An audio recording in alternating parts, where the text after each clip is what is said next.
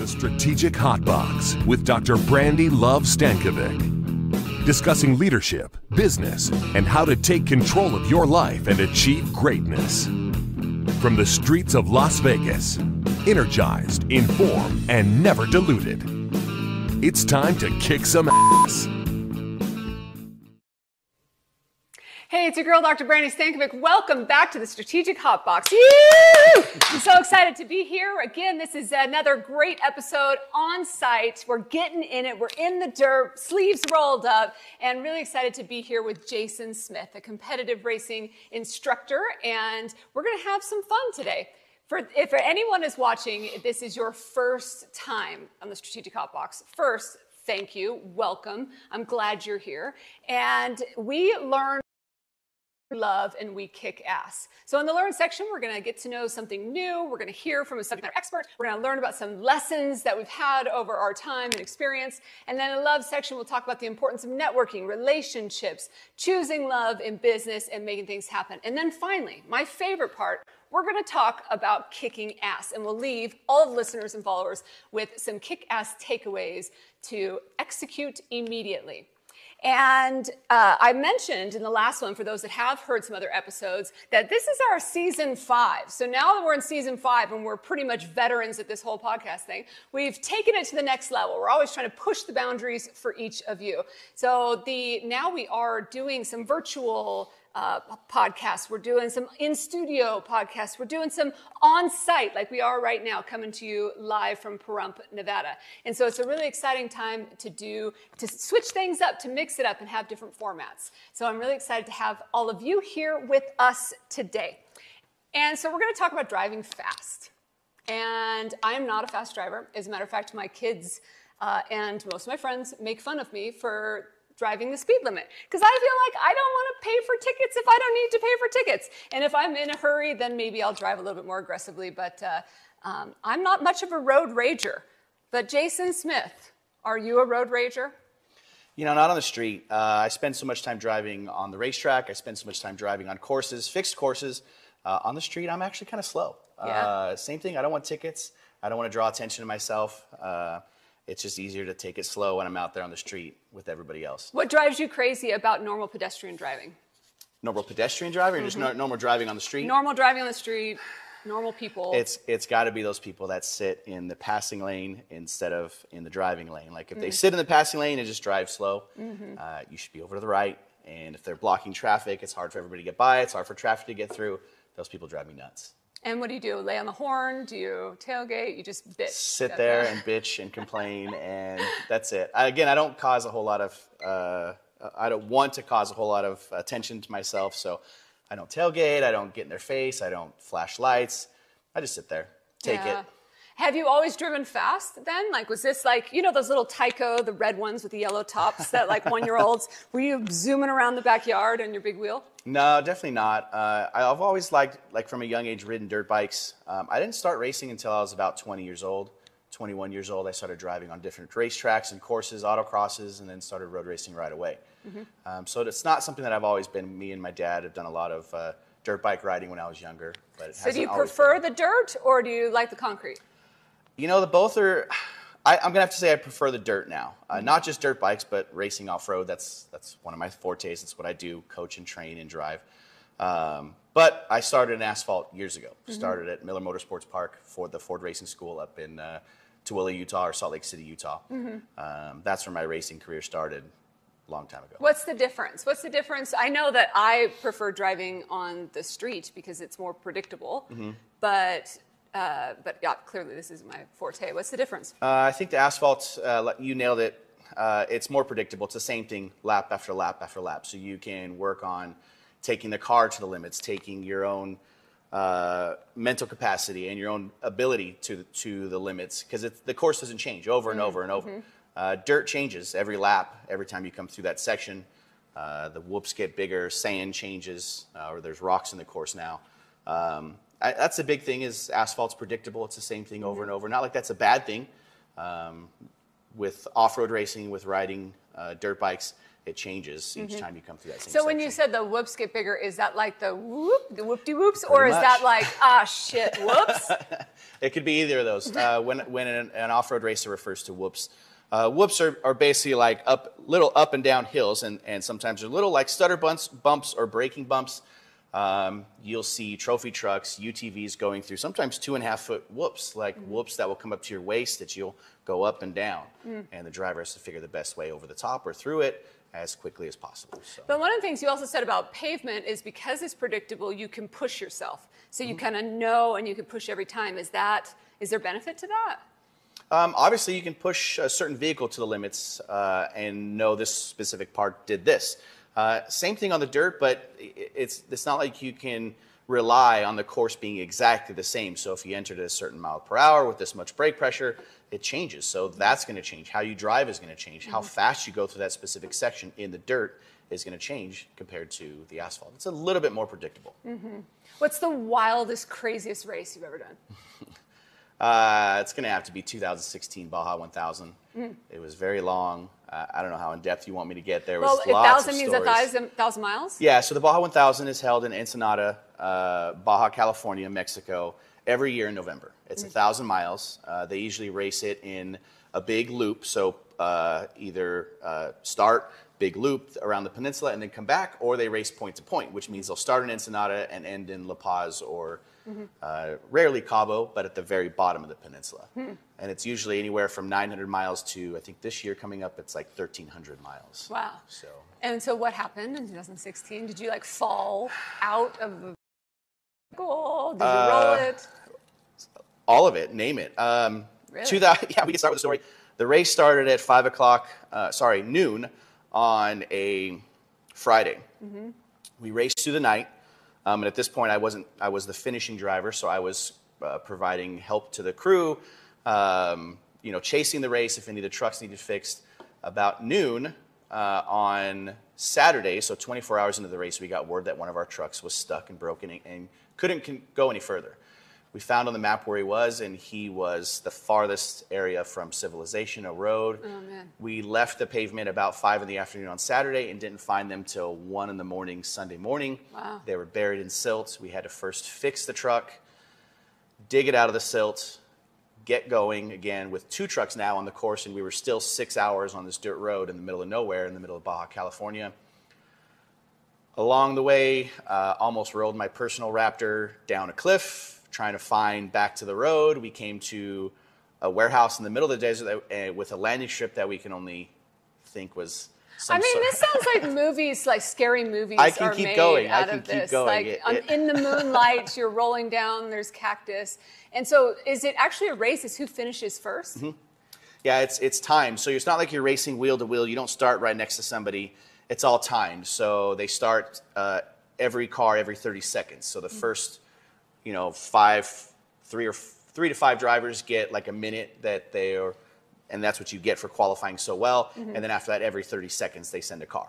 Mm-hmm. So it's all when you start the race, what time is it? How long does it take you until you cross the finish line? With flat tires, with fixing the car, with crashes, with rolling it. Obviously, those who fix less cars, fix less flat tires, don't mm-hmm. roll their car over, put it in a ditch, um, or almost roll down a I cliff. I mean, that's got to be the goal, right? No ditches, Yes, no rolling, no or do you ditches. are you always riding that line, pushing the limits? Well, you're always riding the limit, yeah, because otherwise you're not moving very fast. Mm. Um, so- but you try not to. The, the, and that's where asphalt, you can go 95%, 98%. percent Mm-hmm. However, in off road, you're keeping that to 90%, 92%, 85% of what is available to you as a driver. Because those who drive 100% always end up in the ditch. It's about moving quickly, but not to Being the point where you're going to make a big mistake. And you have to be able to do that, being able to adapt, yes. Mm-hmm. And you have to be able to do that for 32 hours if the race goes well. Sure. For us, 65 and Oh, wow. 72 So hours. you didn't win that one, you're saying. We didn't win that one. And so you think a good driver then drives on the asphalt and the dirt? Yeah, yeah. Um, I, I think there's something short-sighted in saying uh, a road racer will never be good off-road and an off-road racer will never be good on the road because uh, it's all weight distribution and weight management. When you hit the brakes, where does the weight go? To the front of the car. When you accelerate, where does the weight go? To the back. So if you manage that properly, every car, whether it's a long travel trophy truck or UTV or a Corvette, the weight goes the same. The, the weight ends up in the same areas. So as long as you're managing that, and of course there's more travel in a long in a long travel trophy truck or UTV, uh, there's less movement in a Corvette as it dips and dives. But it's all the same, and it can be learned. And on asphalt, you also practice with like wet environments and Mm-hmm. gravelly environments, right? Yeah, so my day job is I work at the Spring Mountain uh, Resort and Spring Mountain Motorsports Club and Resort. So uh, here we house the uh, Corvette driving school for new drivers. So when you buy a Corvette, Chevy sends you to our school. So my day in and day out, I was teaching Corvette drivers to drive fast on a racetrack. Um, we we put them through braking exercises. We put them through uh, wet exercises where they're allowed to slide the car and learn some car control. Um, so like if they go home and drive in the snow or the rain and the car gets sideways, hopefully they know how to I mean, a correct and Corvette's not that. a good weather car, right? Not necessarily. It's not the best. In other words, it, it can get around fine. I've driven them in the snow. I've driven them in the rain. Um, I've driven them on the racetrack in the rain. It'll get around fine if you know what you're doing. Is it the Mm-hmm. best? No. Get a Tahoe. So when people buy, I have to know this and you know gauge what is right for you to answer. But the kind of people that are buying Corvettes are they coming in already skilled drivers? Not necessarily, because uh, I, I think the number is like 15%. You know, 12% of Corvette drivers actually take their car on the racetrack. A lot of people come here and it's a it's a bucket list item for them. It's a thing they do. Oh, I bought a new Corvette, so I'm going to come. I bought this. This is the now we're on the generation C8. They call it um, the C7. You know, you see a lot of drivers continue to come back. Um, so no, not It's a lot of them. Mm-hmm. included with purchasing a Corvette. Oh, Well, I, sh- I shouldn't say that. Uh, Chevy or GM will, uh, I think, give you a certain amount of money. It's half the school is paid for um, when you come. You still have to obviously book your flights, and there's a little bit extra left over, but Chevy takes care of a pretty large portion of it. wow, that's really cool. I mean, it's not like Corvettes are like the cheapest thing in the entire world, but. They're not necessarily, no. Uh, and so, do people come in with a chip on their shoulder then? How do you even begin to teach somebody that's just bought a fancy race car Actually, how to not, drive it? n- not most people come here ex- excited, and it's it, again, it's like a bucket list item. It's something they've booked six there's months in advance. in it. A lot of people. There's a small percentage of people that come through and think they know more than the people that do it every single day. Um, but it's rare somebody comes through with a chip on their shoulder. Mm-hmm. Um, most people, this is like the grown men Disneyland. So everybody's, excuse me, everybody's really excited to be here. Everybody's excited to show up. Um, you know, everybody like, oh, you, you must really love what you do. You, you, I, I would trade you in a heartbeat. And these are doctors and, Right. and businessmen and entrepreneurs. So I, uh, I did notice prior to filming the podcast that I tried to use the ladies' room and it was locked. Uh, but so I'm assuming there's not a lot of ladies that c- come through. You know, actually, we have one or two per school. Um, we had three in the Cadillac school. Um, it's it's definitely a higher percentage of, of males that come through, but Mm-hmm. every school has one or two. So I don't know why this wasn't unlocked. That's weird. So, Oh, that's all right. Nick, Nick snuck me into the men's bathroom. I'm not sure we should say that, but it's out there now. So, uh, no, it's totally, totally fine. So, have you, like, when do you encourage the students then to push the limits when they're here? Um, because it's the safest place, you know. Because if you're gonna, if you're gonna screw up, if you're gonna f up, this would be the place to have something like that happen because you're amongst um, professionals, you're amongst emergency services or whatever. Yeah. But you also don't want to come here and wreck a car. Yeah, so we encourage them to push their limits, push their comfort level, but not necessarily to the point where they're going to wreck a car. And it's my my normal speech. Hey, gentlemen, this is the end of the day. It's been a long two days. Let's have fun. Let's drive fast, but let's concentrate on being accurate and precise. This isn't a race. Um, remember what we learned yesterday in emergency braking. Uh, so we encourage them to step out of their comfort zone and push their own limits a little bit, but not to the point where they're going to wreck a car or drive, even drive off track. Can you profile a student the sec- second they walk in? I'd like to say no, but uh, you can tell some. yeah. Some of them, uh, a, a lot of them are older. Um, some of them immediately start into their experience. Uh, and it, the funny thing is, like, usually the quiet drivers that show up in not necessarily driving shoes, but show up in normal shoes. And it's those guys that have lots of experience, It's the mm. ones that have The all most the. hum, hum, people that are most humble always end up because they don't have to flash the. Yep. Yeah, that's the ones in the driving shoes and then pull up in their racing gloves. It's like, okay. Really, people come in with like mm-hmm. hmm. Racing. I, we've even had a few show up in race suits and wear their race suits. like in a fire. s- if a race, full race suit, like with past sponsors and stuff on it, hmm. um, and then wear it around for two days.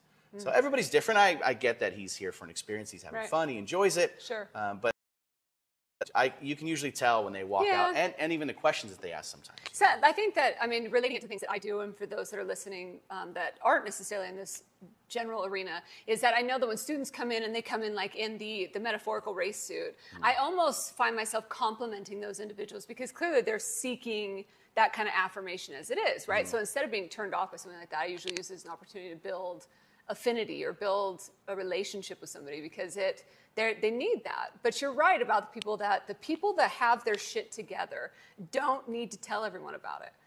You know, They're quiet and they're just doing their thing. Mm-hmm. That's really forward thinking of you. I usually like the guys that brag. I'm like, walk away, try not to hold conversations with them. Mm-hmm. It's just me being me, being being an asshole. But yeah, that's really forward thinking. I like that. I'm gonna have to use that going forward.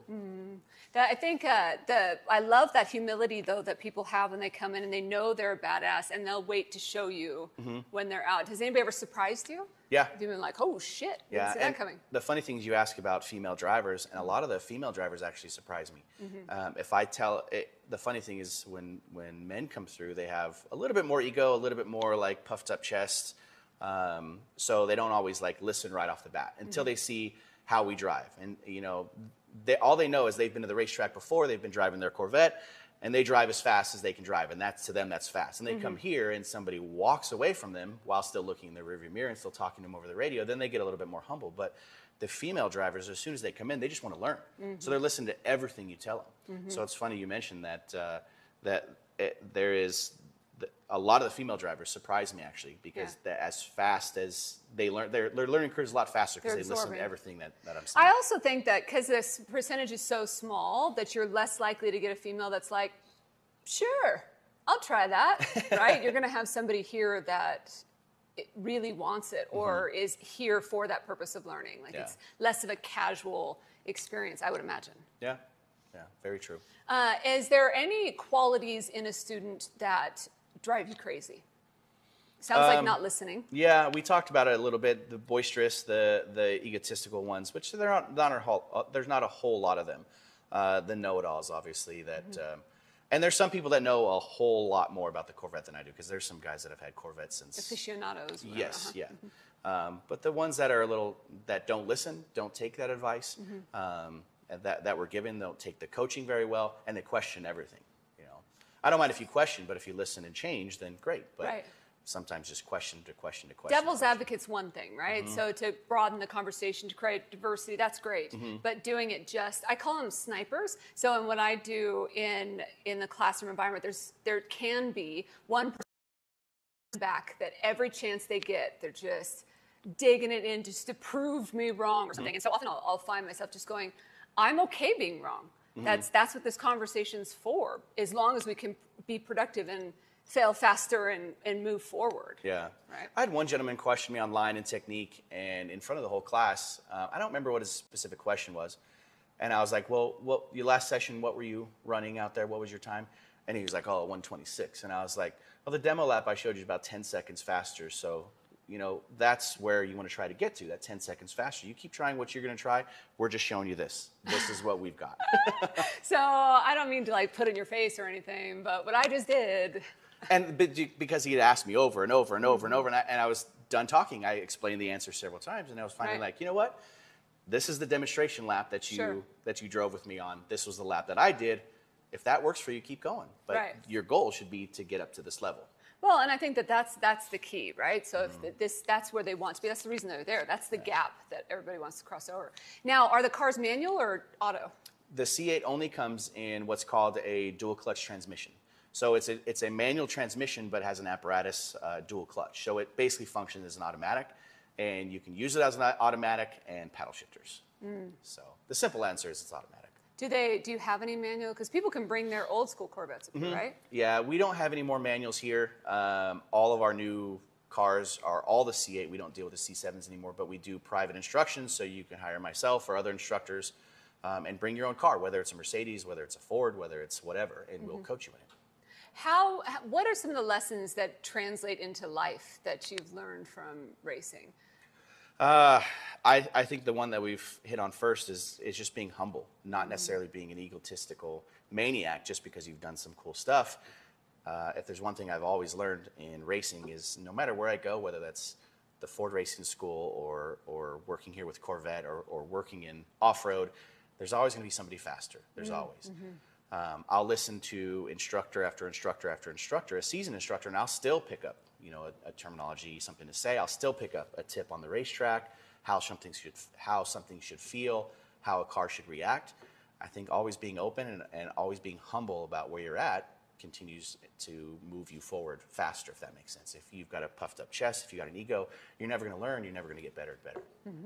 And what about pushing boundaries that, that uh, make in a safe, kind of controlled environment? Is do you see that play out outside of?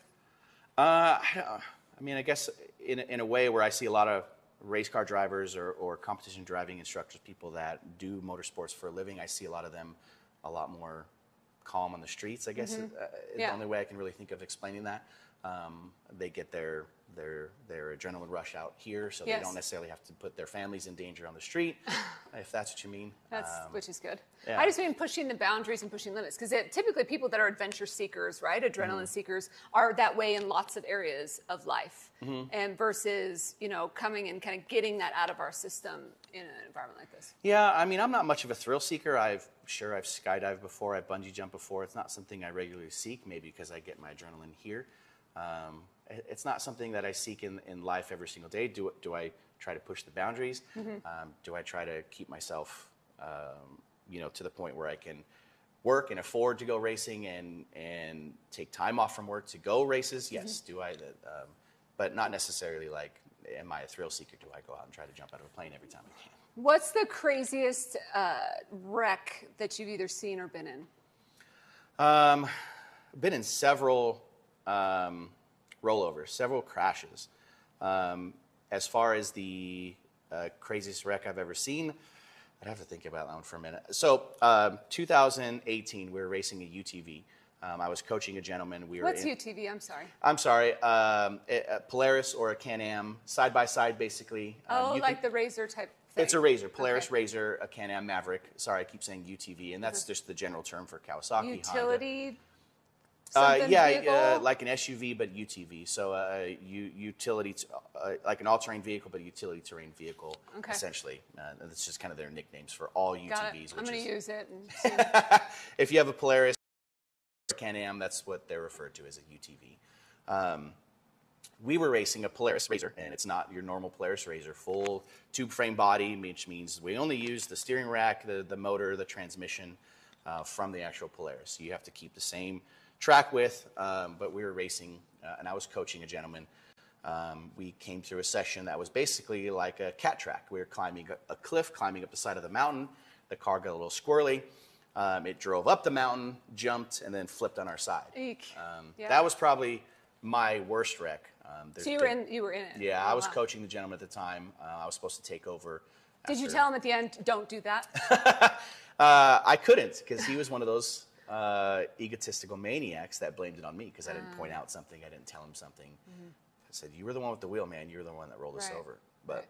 I, I haven't been involved in a whole lot of. I've been in like four or five rollovers, and, and that was probably the worst one. One similar. I, I remember it was like in the late '90s. I've just aged myself probably, but it was. We were driving to California, and you know how for those that live on the West Coast, how the mountains they kind of chop the mountain for, to drive through, mm-hmm. and so there's kind of two little berms, whatever. So we were driving along, and this guy in front of us.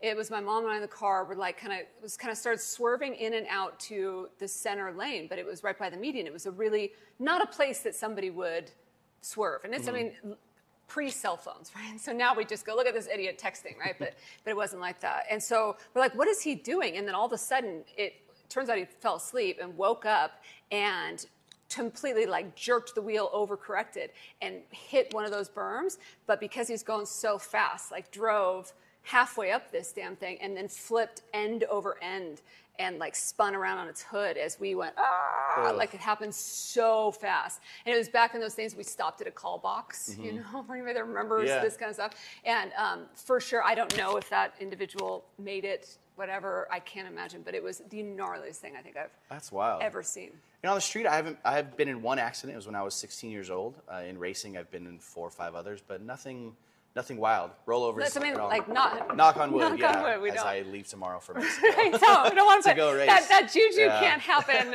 as a result of the of the hot box. Um, can you share a funny story?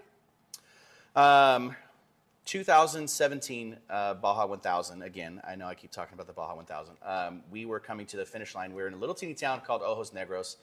I got in the truck at seven in the morning, uh, and after chasing it from same noon on Friday, I got in the truck on 7:30 in the morning. Drove it till about 10 o'clock at night. Uh, my co-driver, uh, an- well, another co driver we did a pit stop, fuel, tires. My other co-driver got in because I was falling asleep, so I got in the co-driver spot, and um, he was driving. 30 minutes in, I was asleep in in a race in the truck because I'd been up for so many hours. Uh, it wasn't the tequila at Ojos Negros. I hope not. uh, it, I had fallen asleep in the truck, and um, I woke up and with the driver screaming at me. He was a good buddy of mine named Tony. We were on our side in a ravine, and I'm staring at dirt. There was dirt all outside the window here. no. He's like, "I'm off track. I don't know where I went. You fell asleep. Um, what do we do?" So I climbed out of the truck, and luckily we're on our side, but in kind of like a V-shaped ra- ravine. So you and had room to- We muscled it, like yeah, back on two wheels, and then kind of backed it out the ravine. Um, and then I, you know, strapped myself in tighter, popped an Adderall, and kept going. no joke. Should we have said that? I I, don't mean, know. I'm sorry. I'm sorry. That's really a what happened. legal prescription, a legal prescription of that. But that's really what happened. We drove across the finish line um, at uh, 2.30, 3.30 in the morning. Um, Wow. And then we drove to the taco stand, the race truck to the taco stand And in my then race suit, and then the tequila. and tacos Nice. at like, and we were there till like 4.30 in the morning. Love that. Perfect way to end. All right, fi- fill in the blank for me. If I could, I would blank every day. Um, if I could, I would drift cars all day long. Really? So I, I teach off road. I teach on road. I love drifting. Sliding cars around is kind of like my fun thing. If I can do that, and didn't have to work on cars, didn't have to put tires on the cars. If I can just drift all day long, I would do that. Slide cars around. I would do that all day long. I actually want to uh, look for a piece of property here in Pahrump that I could buy five acres, ten acres, put a warehouse, live in the loft, and drift and have a little dirt truck. all the time. Yeah, I would love that. I, I like this plan. All right, answer or another fill in the blank. The world would be a better place if. I, we've talked about it a lot. I think the, the world would be a lot better place if, if you were humble about your, your career. You were humble about just your direction in life. Um, and if you went after it, if more people were involved in what, what they love, you know, not just had a job for a job, if they are passionate about what they do. Mm-hmm. And it doesn't matter if that's police work, if that's construction, if you're passionate about what you do, not just punch the clock. Yeah. I, I think people, and Americans especially, and even myself sometimes get in the habit of punching a clock just to pay the next bill, just to pay the next house payment, just to pay the mortgage. And, and Yeah. I think if more people were humble about themselves and life in general and chase their passion, uh, I think the world would be a better place. You're right. And saying we're engaged in their life. That's why we have the Learn in Learn, Love, Kick Ass in this podcast, because it is always about gaining new knowledge and learning from one another. And what a wonderful way to end. Thank you so much for course. being here. Let's head out to our shout out.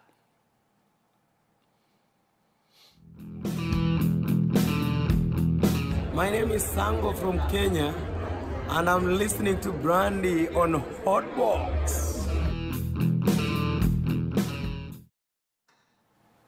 Thank you to Sango from Kenya and all of our Kenyan family that are out there and for the shout out. Thank you again to Jason Smith for being here with us today and sharing all of your words of wisdom.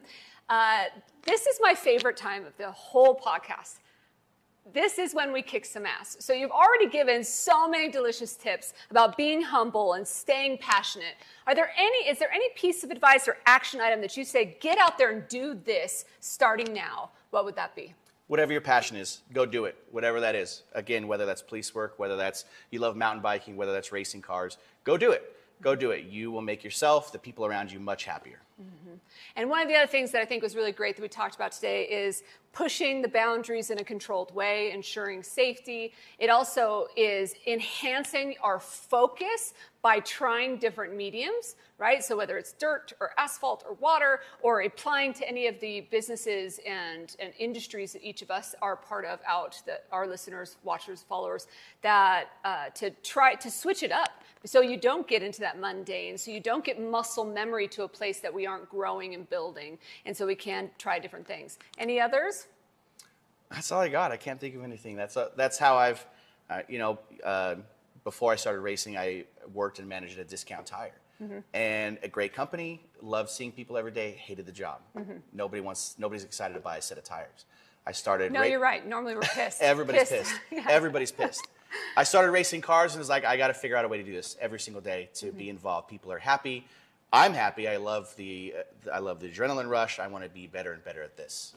I figured you were going to leave us with some sort of live hard, drive fast, some sort of like tagline, something that's tattooed across your chest or something. No, not not my mo. Like that. Not No. my mo. Chase your passion, have fun, go do something that that you've always been interested in because in the end, what are you going to tell some? What are you going to leave with your kids? Uh, I was an accountant, you know.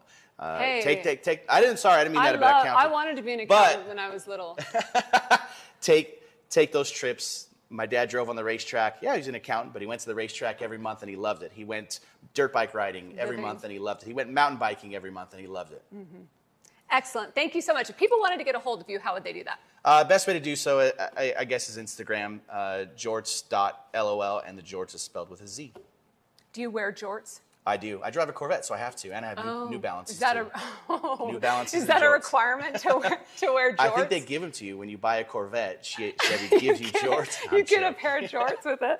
Uh, well, thank you very much for being here. Thank you to all of you, our faithful followers and listeners. And just so you know, those Treated Hot Boxes in all your favorite spots Spotify, Apple, uh, and any sort of podcast place. We have uh, Roku. We even have an app on Roku. So if you want to sit on your couch and download uh, and eat some popcorn and watch the TJ Hot Box, you can do that as well. iHeartRadio. Where else, Nick? Where am I forgetting?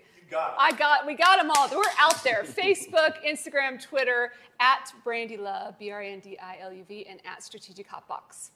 Thank you, Jason. Thank you to all of you. Until I see you again, get out there and kick some ass.